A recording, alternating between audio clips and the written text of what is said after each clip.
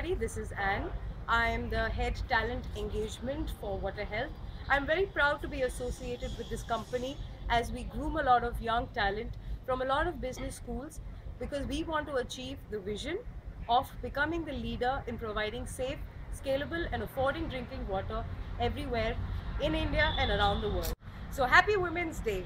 On the occasion of World Women's Day, we wish each and every woman around the world empower yourselves. All the best. Hi, I'm Priyanka Pradeep and I'm in charge for the internal audits and process management of the company and I'm very proud to be associated with Water Health India which strives to bring transformation in the lives of people and on this occasion I wish every woman out there a happy Women's Day. Hi, my name is Rupali Gupta. I'm associated with Water Health India as a head training and development. I'm responsible for training and developing WIN employees, especially WIN female, so that they can help us to achieve our objective, which is to provide safe drinking water to underserved people. On the occasion of World Women's Day, I wish all of you happy Women's Day. Thank you.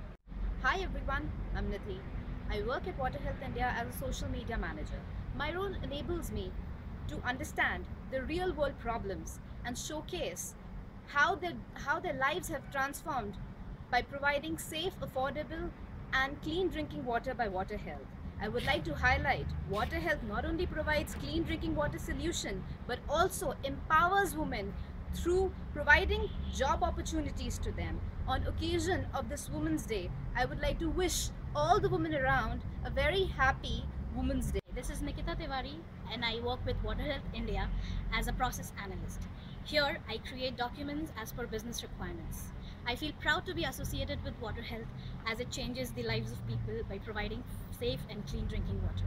On the occasion of Women's Day, I wish all the women out there like me a very happy Women's Day. Thank you. People who associate themselves with the cause, please support the cause by liking, sharing and spreading it across the Facebook.